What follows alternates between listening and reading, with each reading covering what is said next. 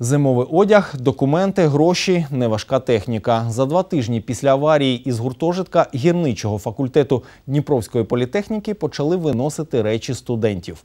Санітарна група із представників адміністрації університету та поліцейських з обіду до вечора 18 жовтня мала закінчити роботу на п'ятому поверсі, тобто обійти 30 кімнат.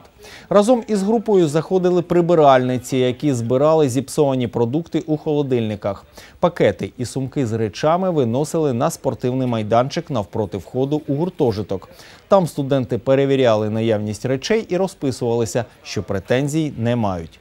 Щось одразу забирали із собою, решту на машині відвозили в інший гуртожиток. Загалом із аварійної будівлі на проспекті Яворницького переселили більше 300 студентів.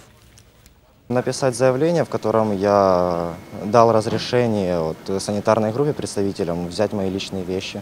И также схема с расположением вещей. Ну, основное постельное белье, вещи, там курточка, такое, штаны, рубашки.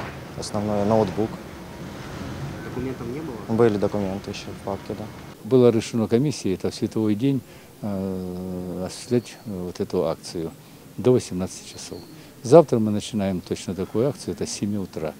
И точно так же будем продолжать в воскресенье, в понедельник. Сегодня мы попробуем вот, э, поработать с одной санитарной группой. Если все будет нормально, тогда расширим количество групп.